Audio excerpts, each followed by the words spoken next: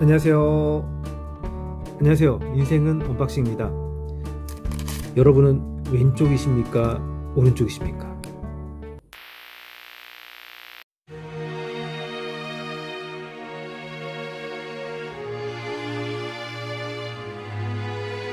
그럼 저는 오른쪽 카드를 까보도록 하겠습니다.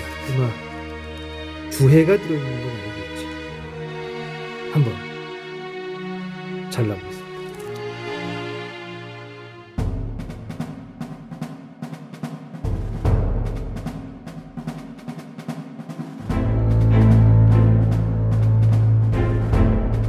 카드는 아니겠죠, 설마?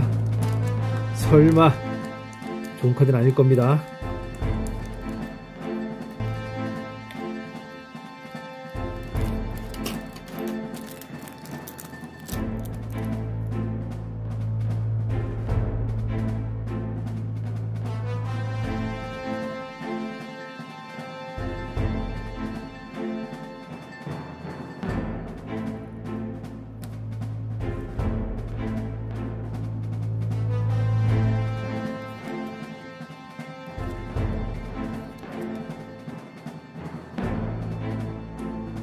아, 설마 아니겠죠?